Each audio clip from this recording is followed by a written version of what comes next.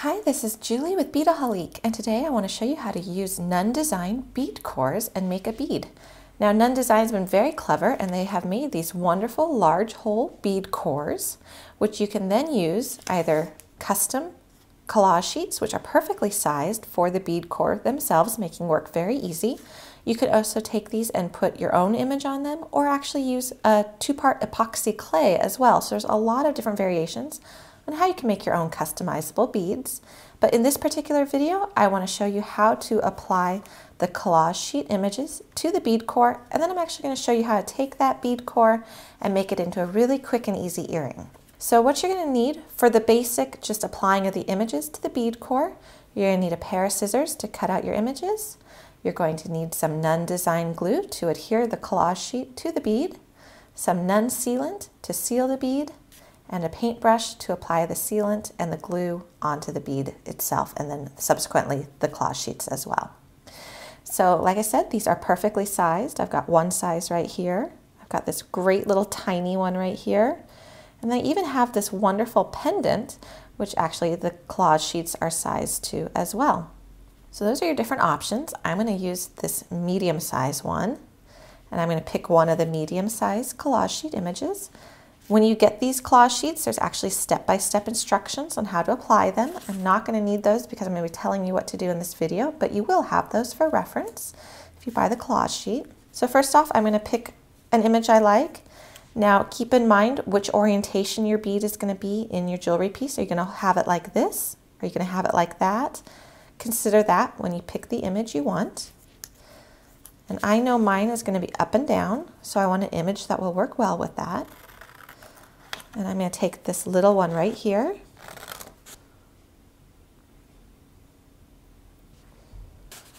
So just to get it out of the sheet, I rough cut it. Now I'm just going to cut it along the edge.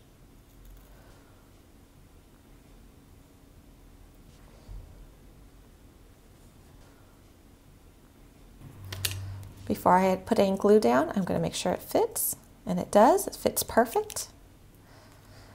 So you have two options. You can apply glue directly to the bead itself and then go ahead and put your collage image on top of it, or you can apply glue to the collage image. I like applying it to the collage image, and if you've seen my other videos, you know that I just like to use my fingers. I think I picked this up when I was a child and I never stopped doing it this way, but a toothpick or a paintbrush or a wire, scrap piece of wire would work as well. I'm going to make sure I coat every edge of the collage sheet. Just going to lay it in there.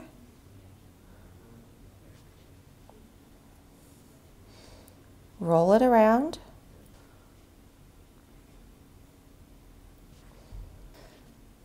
Okay, there's going to be a little bit of overlapping. That's perfectly fine. Make sure you have plenty of glue where it overlaps. Smooth it out.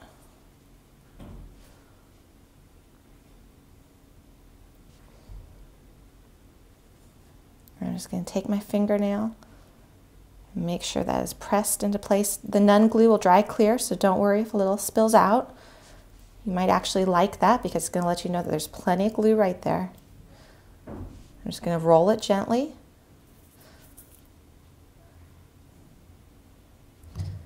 And there we've applied our image to the bead core and I'm going to let that dry for about 15 minutes before I go back and I seal it with a layer of Nunn sealant. Now that our glue is dry, we're just going to paint a top coat of the Nunn Design sealant on it. Go ahead and grab your bead by the two ends. That way you're not going to touch it. A little bit of sealant onto your brush. Make sure you line it up with the edge. You want to make sure you coat fully the edge and just paint over the collage sheet. Rotate it without touching what you just went ahead and glued. Keep rotating.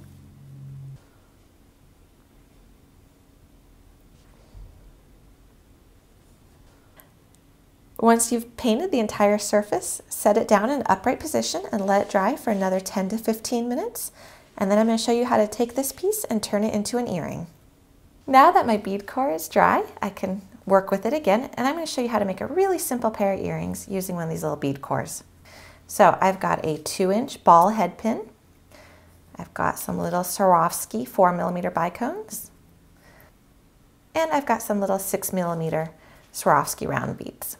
So what I'm gonna do is I'm gonna take my head pin, put one bicone on it, one round,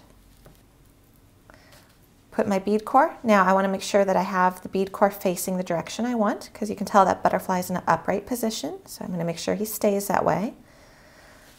Then I'm going to just add another little round and another bicone.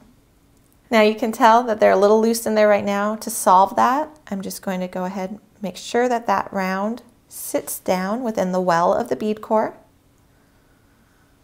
And I'm going to take my wire looping pliers. So I'm holding this tight so all the beads are snug. Put my wire looping pliers right up against the edge of that bicone. There we go. And I'm just going to make a wrapped wire loop.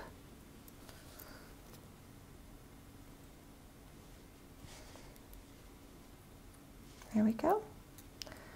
And then take my flush cutters, trim off that wire tail,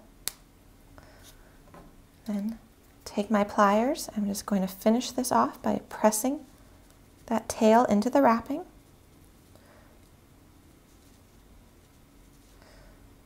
There we go.